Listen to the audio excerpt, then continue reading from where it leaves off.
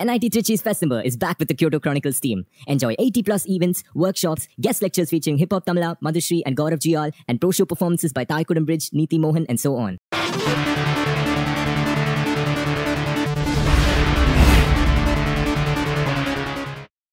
ஒரு நிதியாண்டில் தனிநபர் வரி வருமானம் இரண்டு புள்ளி ஐந்து லட்சம் ரூபாய்க்கு குறைவாக இருந்து வரி பிடித்தம் செய்யப்படாவிட்டாலும் அவர்கள் தாக்கல் செய்தால் அது நில் ரிட்டர்ன் என்று அழைக்கப்படுகிறது வருமான வரி சட்டத்தின் கீழ் நில் வரி அல்லது குறைந்த வரி பிடித்தம் செய்யப்பட்டவர்கள் வருமான வரி தாக்கல் செய்ய எளிய புதிய நடைமுறை அக்டோபர் ஒன்றாம் தேதி முதல் அமலுக்கு கொண்டு வரப்படுகிறது.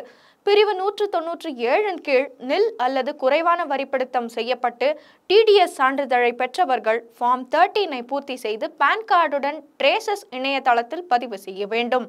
நில் ரிட்டர்ன் தாக்கல் விசாவுக்கு விண்ணப்பிக்க பாஸ்போர்ட் விண்ணப்பங்கள் முகவரிக்கான சான்றாக வங்கிக்கு கடன் விண்ணப்பங்களுக்கு தகுதியை உறுதிப்படுத்த துணை ஆதாரமாக பயன்படும். டெபாசிட் மீதான வட்டியில் வங்கிகள் டிடிஎஸ் பிடித்தம் செய்ததை வருமான வரி தாக்கல் செய்வதன் மூலம் ரீஃபண்ட்ஸ் பெற முடியும். இரண்டாயிரத்தி இருபத்தி மூன்றாம் ஆண்டு இயற்பியலுக்கான நோபல் பரிசு விஞ்ஞானிகளான பியரி அகோஸ்டினி ஃபெரங் கிரவுஸ் மற்றும் ஆனியல் ஹூலியர் ஆகியோருக்கு அறிவிக்கப்பட்டுள்ளது.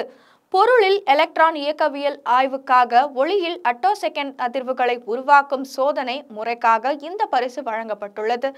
இந்த பரிசு வழங்கப்பட்டுள்ளதாக the royal Swedish academy of science அறிவித்தது.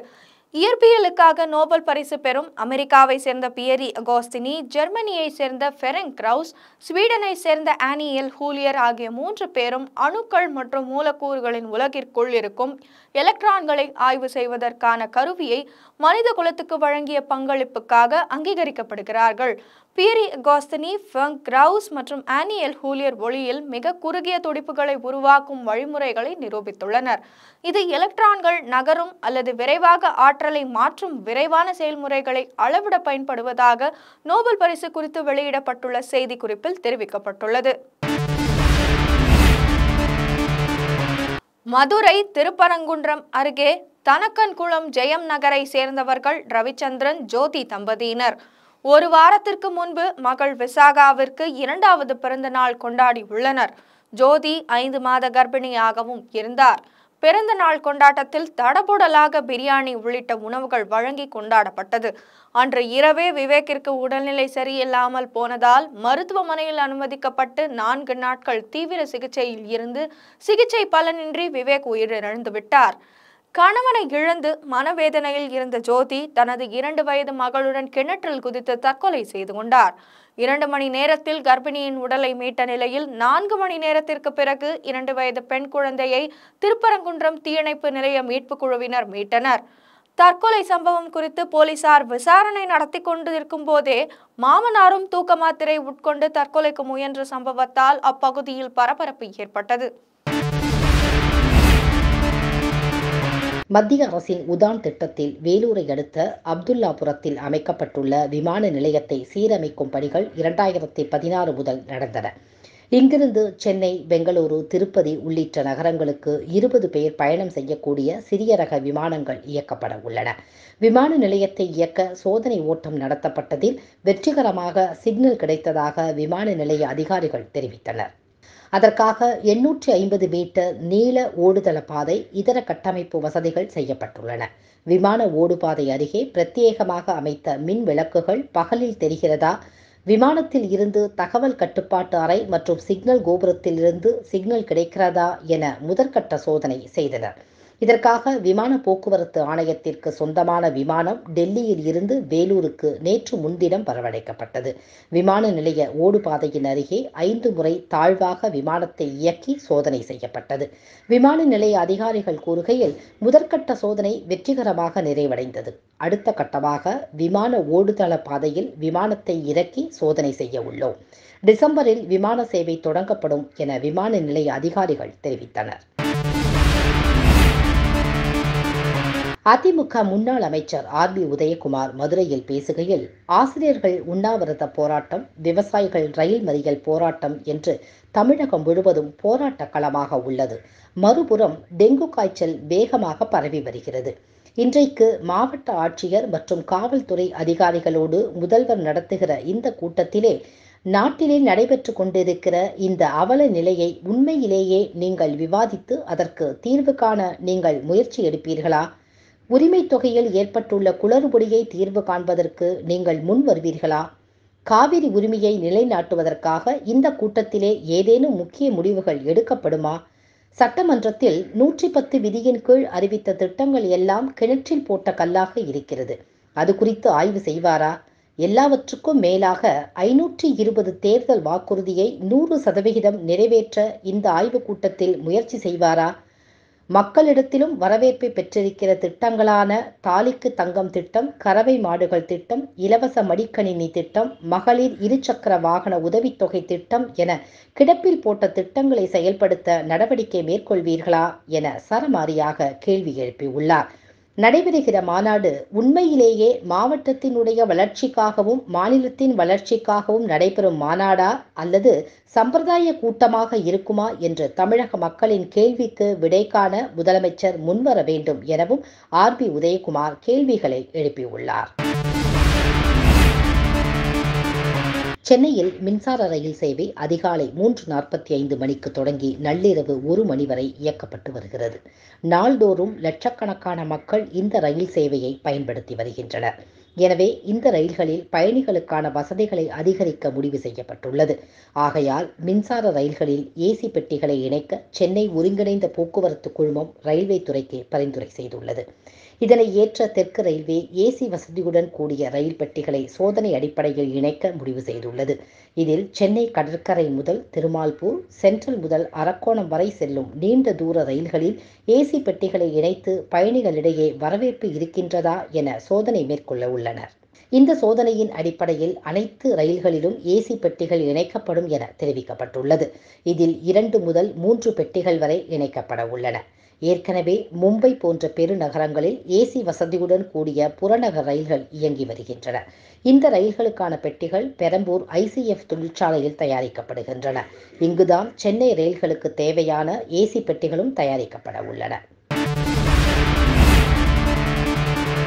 சென்னை தலைமை செயலகத்தில் உள்ள நாமக்கல் கவிஞர் மாளிகையில் முதலமைச்சர் ஸ்டாலின் தலைமையில் மாவட்ட ஆட்சியர்கள் மாவட்ட காவல் கண்காணிப்பாளர்கள் மற்றும் உயர் அதிகாரிகள் உடனான இரண்டு நாள் ஆலோசனை மாநாடு தொடங்கி நடைபெற்று வருகிறது.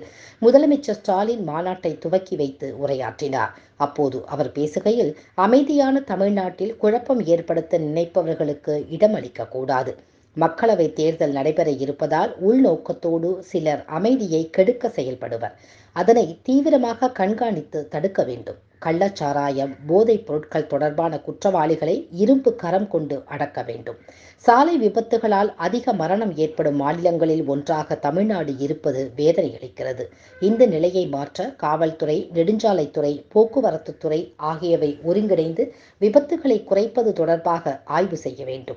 சென்னை உள்ளிட்ட இடங்களில் போக்குவரத்து நெரிசலை குறைக்க சிறப்பு திட்டம் ஏற்படுத்த வேண்டும். பெண்கள் குழந்தைகளுக்கு எதிரான குற்றங்களில் நடவடிக்கை எடுப்பதில் சமரசம் இருக்கக்கூடாது. சமூக ஊடகங்களை மாவட்ட ஆட்சியர்கள் எஸ்பிக்கள் தொடர்ந்து கண்காணித்து பொய் செய்திகளை தடுக்க வேண்டும் என முதலமைச்சர் அறிவுரை வழங்கினார். கோவையில் மத்திய நிதியமைச்சர் நிர்மலா சீதாராமன் பங்கேற்ற நிகழ்ச்சியில் அதிமுக எம்எல்ஏக்கள் பங்கேற்றது. தமிழக அரசியலில் சலசலப்பை ஏற்படுத்தியுள்ளது. ஏற்கனவே தேசிய ஜனநாயக கூட்டணியில் இருந்து வெளியேறுவதாக அதிமுக அறிவித்துவிட்ட நிலையில் இன்று மத்திய நிதியமைச்சர் பங்கேற்றுள்ள விழா கோவையில் நடைபெற்றது. ஆளும் திமுக அரசின் கோவை பொறுப்பு அமைச்சர் முத்துச்சாமி உள்பட ஆளும் கட்சியினர் இந்த விழாவை புறக்கணித்தனர். இந்த நிலையில் அதிமுக சட்டமன்ற உறுப்பினர்கள் பொள்ளாச்சி ஜெயராமன் அமுல் கந்தசாமி செல்வராஜ் உள்ளிட்டோர் பங்கேற்றனர். நிகழ்ச்சிக்கு முன்னதாக நிதியமைச்சர் நிர்மலா சீதாராமனை மூவரும் தனியே சந்தித்ததும் கவனிக்கத்தக்கது. கொப்பரை தேங்காய்க்கு உரிய விலை வழங்க வலியுறுத்தி மத்திய நிதியமைச்சரை சந்தித்ததாக செய்தியாளர்களிடம் பொள்ளாச்சி ஜெயராமன் கூறினார். சென்னையில் நடைபெற்ற ஐம்பத்தி ஆறாவது ஆண்டு அருட்பிரகாச வள்ளலார் மகாத்மா காந்தி விழாவில் தமிழை விட சிறந்த இறைமொழி இந்த உலகில் இல்லை என உயர்நீதிமன்ற நீதிபதி ஆர். சுரேஷ்குமார் தெரிவித்தார். விழாவில் பேசிய இவர் வள்ளலார் சைவ நெறியை விட்டுவிட்டு தனியாக ஒரு நெறியை உருவாக்கவில்லை. சைவ நெறி குறிப்பிட்ட மனிதர்களுக்கானது அல்ல உலக மாந்தர்கள் அனைவருக்கும் பொதுவானது. இறைவன் யார் என்ற கேள்வியில்தான் நமக்குள் சர்ச்சை பிறக்கிறதே தவிர இறைவன் ஒருவன் உண்டு என்பதில் யாருக்கும் சர்ச்சை கிடையாது. இரண்டாயிரம் ஆண்டுகளுக்கு முந்தைய திருவள்ளுவரின் கொள்கையை சிவ நெறியோடு இணைத்து வள்ளலார் பின்பற்றினார். வள்ளலாரின் கொள்கையைத்தான் மகாத்மா காந்தி பின்பற்றி மக்களையும் அதனை பின்பற்ற அறிவுறுத்தினார். இவர்கள் மூன்று பேருக்கும் முக்கோண ஒற்றுமை உள்ளது.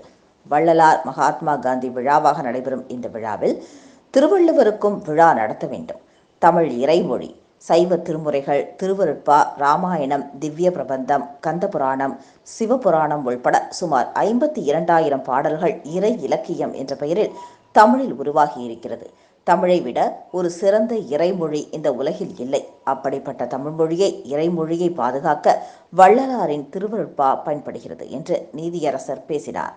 வள்ளலாரை கடவுள் மறுப்பாளர் போல சித்தரிக்க திமுகவும் திகவும் நேரடியாக முயற்சித்து வரும் நிலையில் நீதியரசரின் இந்த பேச்சு கவனத்தை ஈர்த்துள்ளது.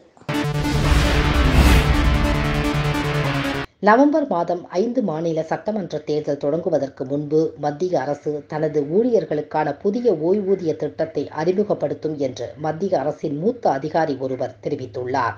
இந்த திட்டம் ஊழியர்களுக்கு மரியாதைக்குரிய ஓய்வூதியத்தை உறுதி செய்யும். அரசும் ஊழியர்களும் இணைந்து நிதி பங்களிப்பை கொடுக்க வேண்டும். ஊழியர்கள் பணிபுரிந்த காலம் மற்றும் அவர்களது மொத்த நிதி பங்களிப்பு கணக்கீட்டில் உத்தரவாதத்தோடு கூடிய ஓய்வூதியம் வழங்கப்படும். வரையறுக்கப்பட்ட பங்களிப்பை அடிப்படையாக கொண்ட கிட்டத்தட்ட இருபது ஆண்டு கால திட்டமான தேசிய ஓய்வூதிய திட்டம் மாற்றப்பட்டு ஊழியர்களின் லாஸ்ட் பே அடிப்படையாக கொண்டு முப்பத்தி ஐந்திலிருந்து ஐம்பது சதவிகிதம் உத்தரவாத ஓய்வூதியம் கொடுக்கப்படும். முப்பத்தி ஐந்திலிருந்து ஐம்பது சதவிகிதம் உத்தரவாத ஓய்வூதியம் கொடுக்கப்படும். ஆனால் இது அரசுக்கும் ஊழியர்களுக்கும் குறிப்பிடத்தக்க கூடுதல் செலவை ஏற்படுத்தக்கூடும். நிதி வரம்புகள் காரணமாக முன்மொழியப்பட்ட உத்தரவாத ஓய்வூதியம் ஒவ்வொரு ஐந்து அல்லது பத்து ஆண்டுகளுக்கு ஒருமுறை அதிகரிக்கப்படும்.